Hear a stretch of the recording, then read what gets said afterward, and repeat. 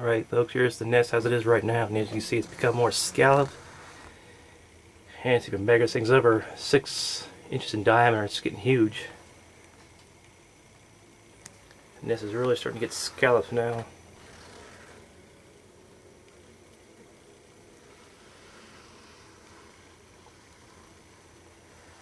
It'd be a very large and very beautiful looking nest. They've still got that runner thing on the right that points where the entrance is at.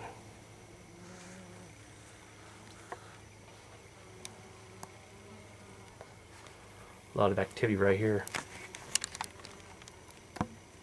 The other day, last time I was watching this thing, I would to get up real suddenly, you uh, know. They didn't like the fast moving. A worker shot out and hit me right in the face, and it wasn't for this veil I'm wearing, I probably would have been stung, but since I was wearing this protective veil, she just bounced off my face a little ping.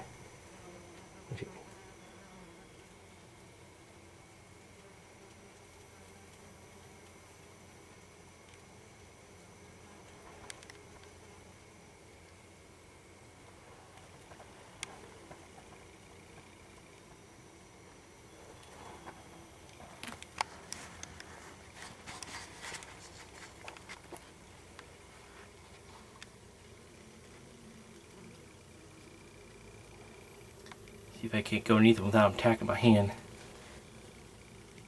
As long as I move real slow.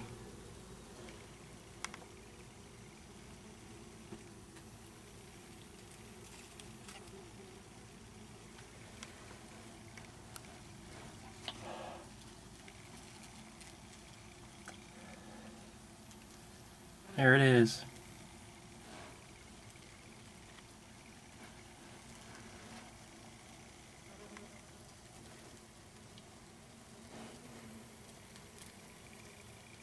I don't ever recommend doing this barehanded because me get it one that wants to side sting like that was trying to right now. I was checking my camera out trying to sting some of the back up slowly.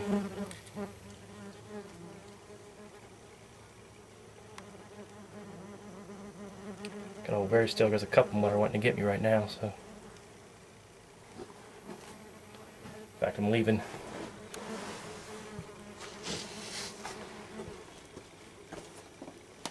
Getting upset.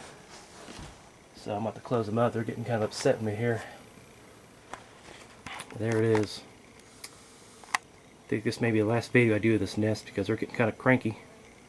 The More wasps hatching, they're getting more aggressive. This wasn't had an observation window, it'd be easier, but there's no window in this nest on this on this hive box, so it's gonna be. So I'm afraid this will be the last video I take of this nest.